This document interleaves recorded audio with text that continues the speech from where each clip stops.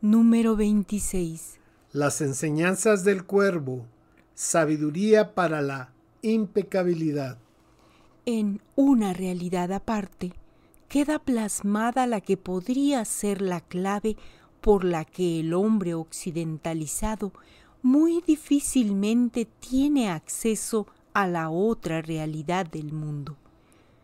Le dice don Juana Castaneda que su problema es pensar y hablar demasiado, y que debe dejar de hablar consigo mismo.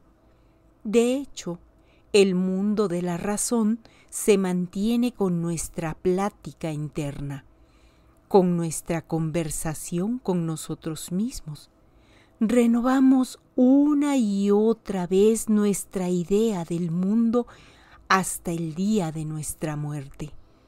Un guerrero cae en la cuenta de que debe luchar para parar su habladuría interior, y en ese punto el mundo cambiará, y el guerrero deberá estar preparado para resistir tan monumental sacudida. Si dejamos de decirnos a nosotros mismos que el mundo es como es, el mundo dejará de ser como nosotros decimos que es.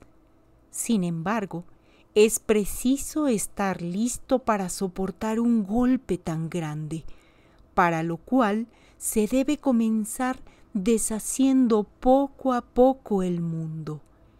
Del mundo, don Juan dice que es un absoluto misterio y que no hay manera de desenredar todos sus secretos.